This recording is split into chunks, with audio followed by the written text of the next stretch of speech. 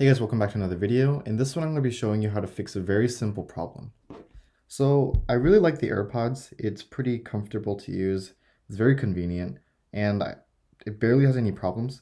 But the one I do face pretty consistently is that only one side connects and that can get very annoying. So I'm going to be showing you how to fix this on both the Mac and the iPhone. So the first thing you want to check is scroll all the way down to accessibility settings and find audio and visual.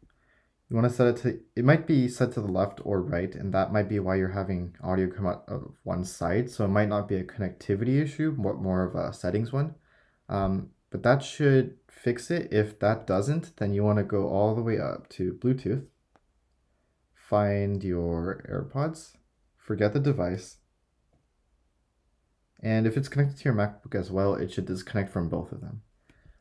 So now you want to open up your AirPods, hold the back button until it starts flashing uh, white for 15 seconds, and then that should get it to reset. Once it's done resetting, it should pop up on your iPhone again, connect to it, and hopefully that should have fixed your problems.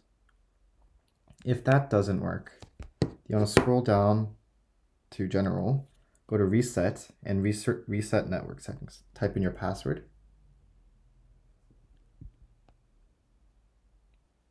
Okay, so once it's back up, you should be pretty good and it should work as normal.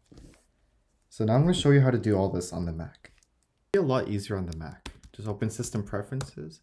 And the first thing I should check if I were you is go to sound settings and see which side the balance is set to. If it is coming out of one side, usually it's set to either the right or the left, and all you want to do is center it to the middle. This should fix the one side issue, but if it doesn't, you can go into Bluetooth settings. Check if it's connected and just remove it. Follow the same steps for the iPhone while resetting the AirPods. And then you should have your AirPods pretty fixed. If none of these steps work, I'd recommend going to an actual Apple service center, talking to an employee, and trying to get fixed or replaced. But that's all the tips I have for today. Thank you for watching. If you like this video, please thumbs up and subscribe. Bye.